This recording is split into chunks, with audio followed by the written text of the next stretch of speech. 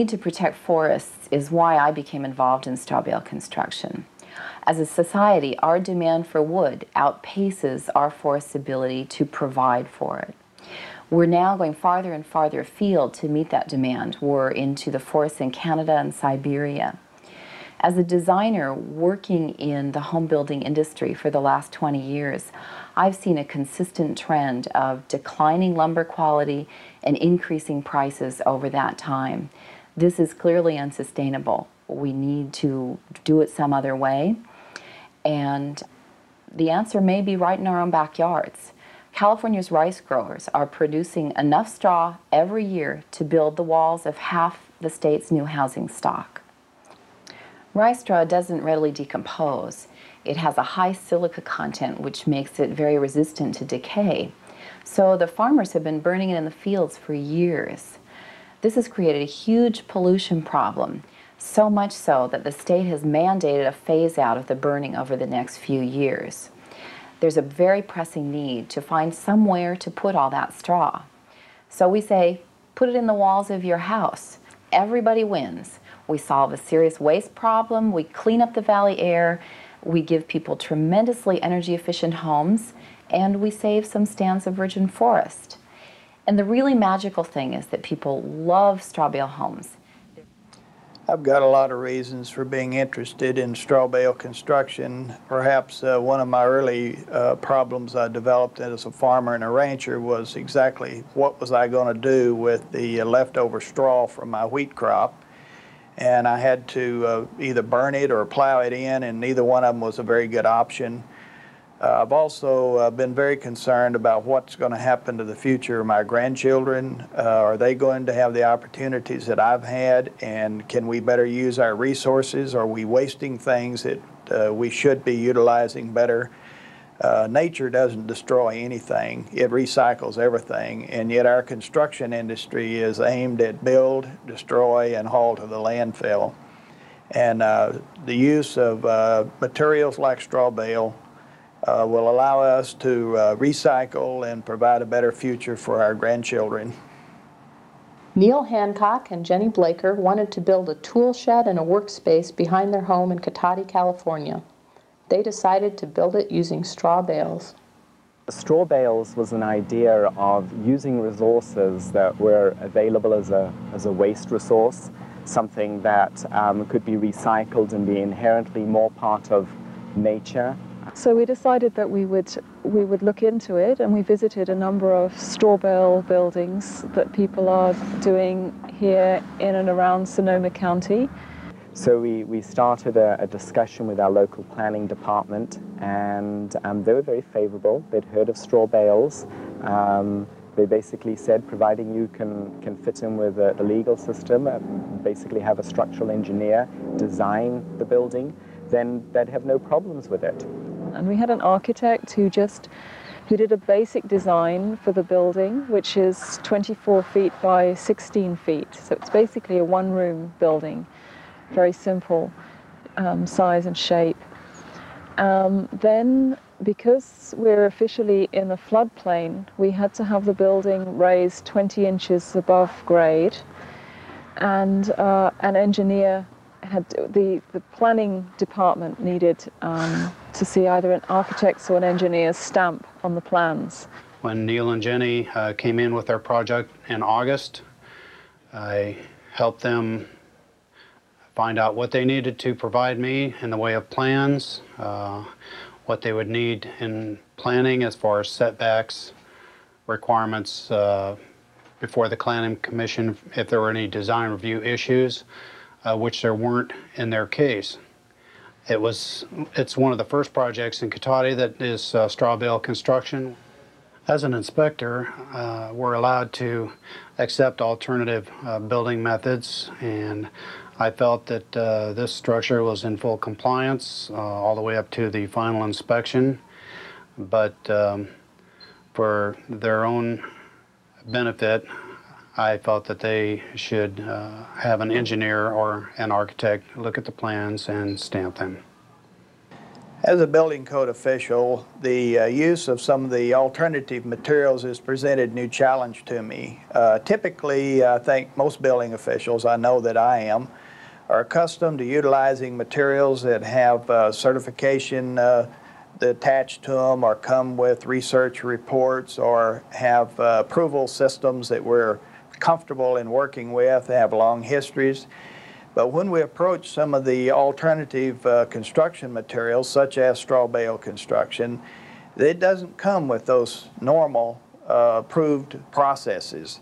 But if you will think about it for a moment, uh, all of the things that we're comfortable in using, such as brick, concrete, steel, wood, uh, have gone through a process of uh, trial and error over the years, and uh, the use of straw bale construction is really not much different than that. And I found that if I, early on, if I just uh, loosened up a little bit in the way I approach these things and use my imagination, uh, talk to some people that have worked with it before, and then allow somebody to do a project, an experimental basis, a small scale, to elevate my comfort with how this works and what it does, that uh, it improved my ability to work with these uh, types of new types of uh, materials. But it's going to be a learning process for the building official, and you have to be willing to uh, uh, spend a little time and become acquainted with some new materials. So um, we found an architect, Paul Harris, who did the basic design for the building, and an engineer, Bruce King, who had done a lot of work with straw bale building before, who worked on the details of the, uh, the building and the foundations and exactly what was needed um, structurally. As an inspector, there are a couple of pretty basic things for you to be aware of when you're looking at a straw bale project possibly the first thing that a lot of people think of is fire. And as it turns out, that's the least of your concerns.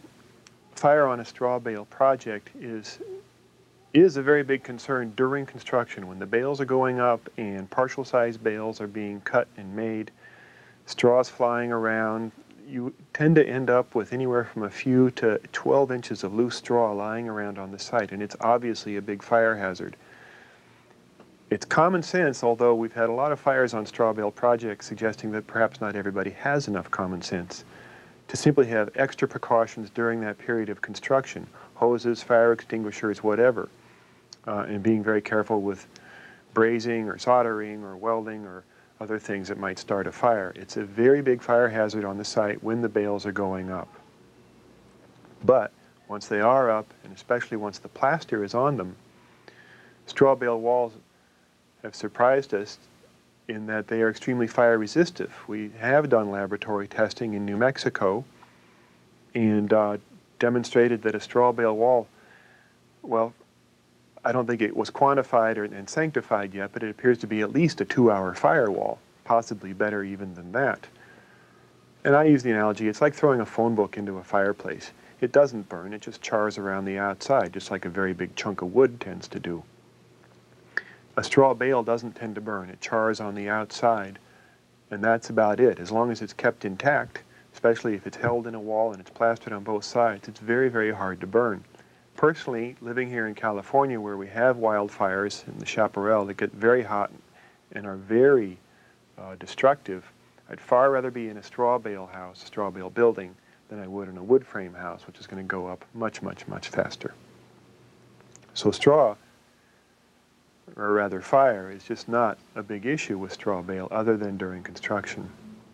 Once we got the permit, then we started going through the how to put it together and the foundations. And the foundations were a lot of fun because we're in a, um, a floodplain and we needed to raise up the floor 20 inches off the ground or off the grade, this is sort of the technical jargon. Typically, you're going to have more foundation for a straw bale wall. And just like you do with wood, you need to get it up off the ground so that water won't attack it at the base and so that water can get out if it ever gets into the wall. On top of the foundations, there's 4x4 with pea gravel, and then the bales rest on top of that. We have evolved uh, a number of details that are really basically common sense to make sure water doesn't get in, and then in the event that it does, you get a roof leak or a window blows out or something happens and water does get into a straw bale wall, you give it an avenue of, an es- of escape. There was vertical rebar also at regular intervals through the foundations, um, and the straw bales were kind of impaled onto the uh, rebar to keep the bales in place. Then there's the walls, the straw bale walls. It's only the walls, but it affects everything else. It affects the design from an engineering point of view, and of course, it affects the construction. During construction, it's going to affect how the foundation is built, what kind of framing may go around it, how the roof sits on top of it. It affects finishes and fixtures, how the cabinets get attached, how finishes get attached, how electrical goes in, how plumbing goes in. On Neil and Jenny's building here, we didn't have any plumbing because it was a storage shed. I think they're going to use it for an office as well, and we ran power in, but typically you wouldn't run a plumbing line in a straw bale wall if you could avoid it because lines will sweat. The moisture can cause a problem. If you have to have a plumbing line, you run it through the wall and typically use a sleeve so that the sweat will be contained within a plastic sleeve. Uh, we, we had people arrive for the, the, the barn raising or the wall raising with great excitement, and we all got stuck into it and had a number of experienced people, which was really great. Some people already done two or three of the buildings already, so we were able to, to put them on different parts of the wall. Got the rebar cutters going, which was one of the most difficult parts, having these rebars that would get cut and the sort of the shock of cutting them and how to cut them at an angle so that it would be easy to actually hammer them in then we had a bale raising day, which was a fantastic experience. It was a real uh, community building um, event when we had friends and neighbors and straw bale enthusiasts, people we'd never met before who heard about it, who came along to help. All our neighbors chipped in. Uh, we must have had about 25 people through the day uh, working at putting the bales up and the bales went up fast. Most of the work was done in a day, and then uh, some of the more detailed work was done the following days. Straw bales went up, and um, on the walls, initially they went on the, the first layer of rebar that had come through from the foundations that was, was holding the, the bottom straw bales into to the foundations. And then we went up with four layers of bales. And after that, for the, the fourth, fifth, sixth and fourth, fifth, and sixth layers, we hammered in 55 inches of rebar. And that was with a four pound hammer. And that was a lot of work. That was also very, very hard. From a design point of view, it makes a big difference, as with any other kind of building material, whether you're in an earthquake area or not. If you're not, i.e. seismic zone 2B or less in, in the parlance of the code, um, a one-story, even a two-story straw bale building is inherently pretty stable, at least all the ones that have been built so far. We hammered in the rebars and we were knocking them in and then on each corner we had two sets of staples, U-shaped staples, 15 inches wide by about 6 inches deep, and they held the wall. Now, one of the parts that was really quite interesting was monitoring how many, which parts of the wall got the staples because we were in the raising the wall and some people were keen on getting the bales up and they'd just wheel the bales in and then they'd go up on the wall. We had to have a wall monitor for decide for, for checking out that the staples actually went in at the corners and that we hammered in the the the, um, the pieces of rebar because they went they, it wasn't a popular thing to do to hammer in this rebar. I don't know. We didn't get too many Rambos coming, I guess. So the walls went up. Then we then we had the windows and doors to put in at every place where there was going to be a window or a door. Um, a carpenter had prepared a wooden uh, buck, like a frame, to just keep keep the keep the hole open, keep the space. Um, and then the bucks were secured by putting a wooden dowel through into the straw. The windows were put in place later on by the builders. Another thing that a lot of people are doing now is pre-compressing the straw bale walls before putting the plaster on. The concrete had um, black plastic pipes put down through the foundations at, at regular intervals to take a polyester strap which went um, down through the foundations, up round the walls, over the roof plate, down the other side, to be tightened to pre-compress the walls once the bales were up. Very, very nicely designed, and it um, was very, very simple to put together. The tightening of the straps is another part of the story, and, and that will come to, uh, that was quite a lot of fun. The roof, no big deal. Uh, we're putting very ordinary roofs on top of straw bale buildings, regardless of what kind of wall construction it is. The roof framing is virtually the same as it is for any other kind of building. And so far as I have ever seen, the, the roofing or the roof framing isn't really affected by the presence of straw bale walls below. So there's pretty much nothing to think about there, except that it's generally a good idea to have a big overhang to help keep the water off of the straw bale wall. There are two basic kinds of straw bale structures. Load bearing, where you put the weight of the roof or even a floor above on the straw bale wall, or post and beam or non-load bearing, in which you don't. You have a framework of concrete or concrete block or steel or more typically wood that uh, surrounds the straw bale, or rather is the framework that all the loads go on, and then the straw bale wall is simply an infill panel. It has to be able to hold itself up in out of plane loading, but that's really about it. That's what most people are doing. They tend to be easier to get a permit for. And in some ways they're easier to build. In some ways they're not as easy to build. It may be that as things evolve and we learn more about the material, that load-bearing straw bale will become the most common means. My own personal suspicion with what I know is that that will be the case and it'll be a very common means of construction that everybody will become more comfortable with putting the weight of at least a roof on a straw bale wall, if not a floor on a roof. But as an engineer and as a builder and as an owner, the thing, a very important thing to understand about a straw bale structure, whether it's post and beam or load bearing, is that it is very much like, best metaphor I can think of is a hard-boiled egg. Somewhat stiff and soft on the inside and can even carry load on the straw, but once the plaster is on there, that is what carries the load, the wind load, the earthquake load, the vertical load from above. It goes on the skins because they're very stiff. You have to understand the structure that way, and it's really a hybrid. The straw that then just serves as, as it were, permanent insulating formwork for the plaster, and it also braces the plaster to some extent. We haven't been able to measure, we haven't measured it yet. We can measure it, we just haven't done so yet. But it's a hybrid structure, very much like reinforced concrete, very much like all sorts of sandwich panel structures that we're familiar with. Then the next stage was to do the stucco on the walls, and uh, we heard about a team called Helping Hands, um, Gary and Shahoma Boudreau from Ashland in Oregon, who travel up and down the west coast showing people how to put stucco on straw bale buildings. The first part of the stuccoing is to have the wire netting up against the straw. And the, the wire netting has two purposes. Um, one is structural, and the other is to actually hold the, the stucco in place. So um, by, by having the stucco against the straw, you, you're, you're making a, a very strong combination. Around the windows and the door, um, we'd use metal lath as well. It's called blood lath because it's really sharp and it goes around the, the curves of the windows and doors, stuffed up with loose straw in between. Um, so the building has beautiful curves around, especially the inside of the doors and windows.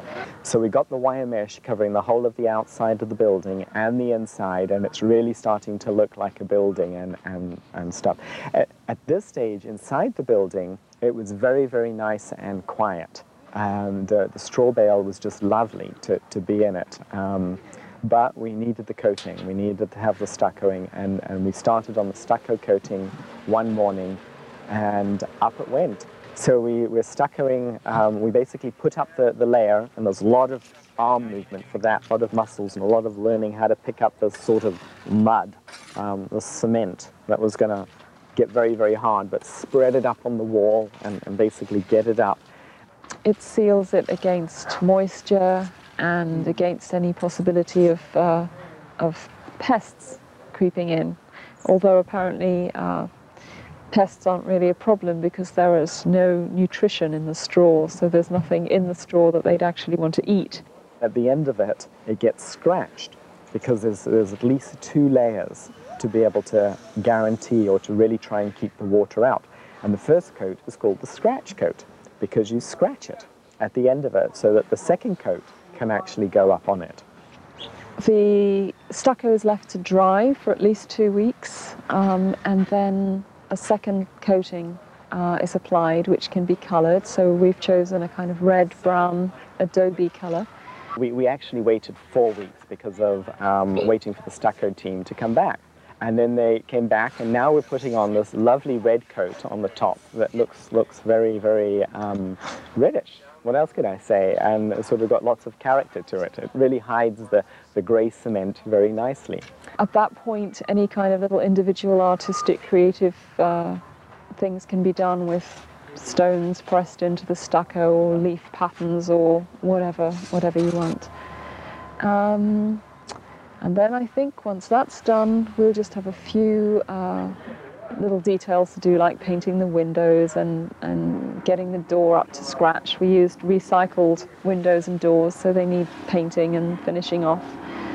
And uh, I think that'll be it.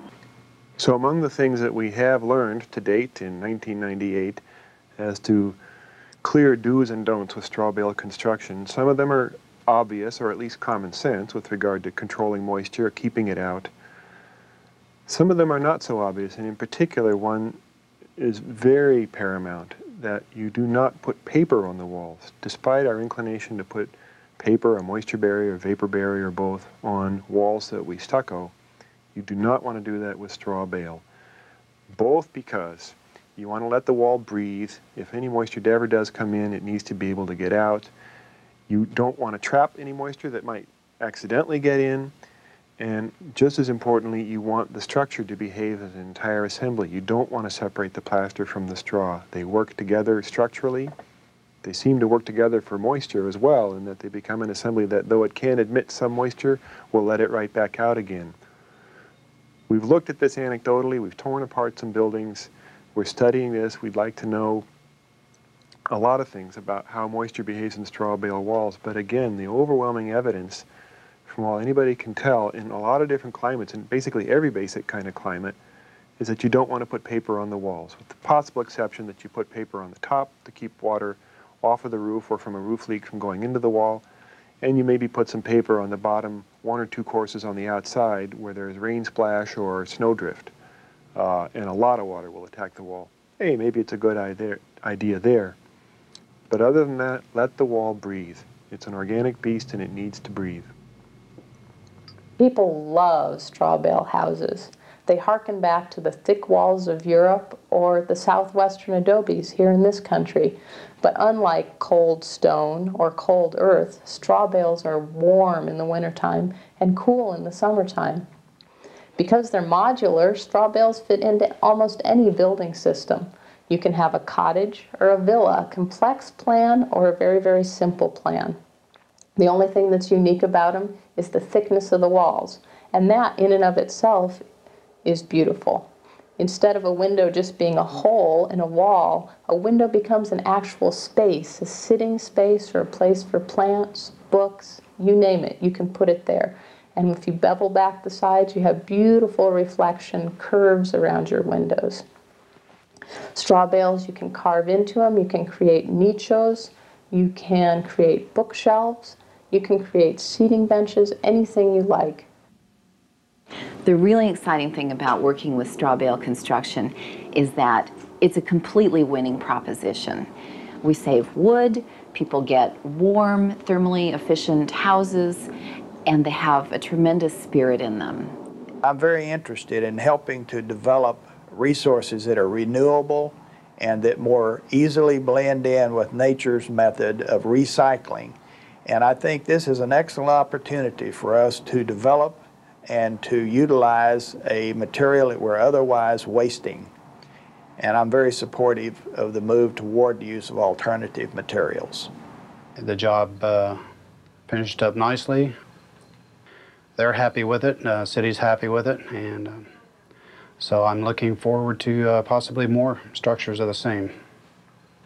That's what the California Straw Building Association is all about We're just trying to move this process along, make it even easier for everyone to build with straw bales here in California. We're a group of professionals, designers, engineers, owner builders, anybody with an interest in straw bale construction. We're educating ourselves about straw bale construction and sharing that information with our membership. We're conducting research and testing, and we're also trying to provide information to building officials people who are out there dealing with straw bale construction on a day-to-day basis. If you'd like more information about straw bale construction, you can contact us at 805 546 4274, or you can write us at 115 Angelita Avenue, Pacifica, California 94044.